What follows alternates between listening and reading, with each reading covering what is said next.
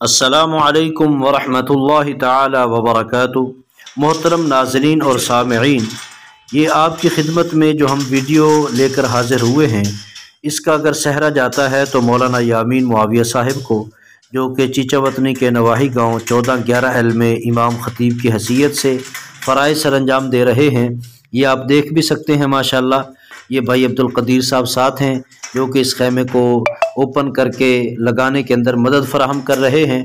ये वीडियो हम आपकी खिदमत में इसलिए लेकर हाज़िर हुए ताकि आपको एक नायाब चीज़ भी देखने को मिल सके और हमें पता चले कि हम मुसलमान अपनी मैतों को गसल देने के लिए कैसे बापरदा इंतज़ाम कर सकते हैं।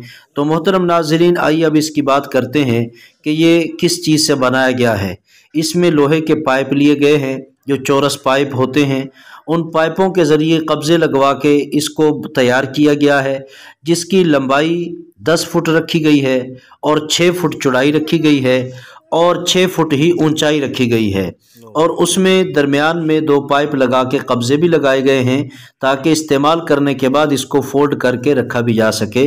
इसको फोल्ड करके आप रख सकते हैं। जैसे कि अभी आप देख सकते हैं कि खैमा अपने पाइपों पर अपने पाँव पे खड़ा हो चुका है और एक चादर सिलवाई गई है जिसके ऊपर जाली लगवा के साइडों पर चादर लगवा कर ऊपर पर्दा भी तैयार करवाया गया है। ये ऊपर डाल दिया गया है और साइडों पे इसको जो है वो बांधा भी जा सकता है और ओपन भी किया जा सकता है। तो ये तरतीब है इसकी। और इसको आप देख सकते हैं, अंदर मैयत वाला तख्ता रखकर ऊपर मैयत आसानी से नहलाई भी जा सकती है और अंदर जो चार पाँच आदमी या औरत को गसल देने के लिए चार पाँच औरतें भी आसानी से अंदर बैठ सकती हैं। ये बेहतरीन जगह है, माशाल्लाह, ये आप देख सकते हैं।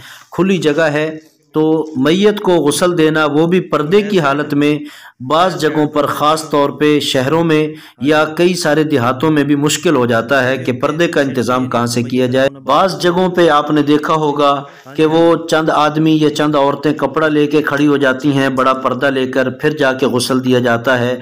तो ये परेशानी अब अलहमदिल्ला ख़त्म हो चुकी है।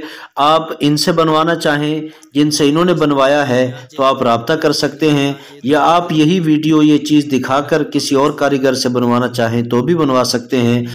अल्लाह पाक हज़रत की ये मेहनत कबूल फ़रमाए और हम सबको अल्लाह करीम फ़िक्र आखरत नसीब फ़रमाए। वसलाम